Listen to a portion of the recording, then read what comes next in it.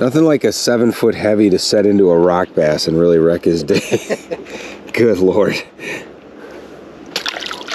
Probably just pulled him like seven feet on the set right there and he went, holy crap. That's more like it. That's what we came up here for.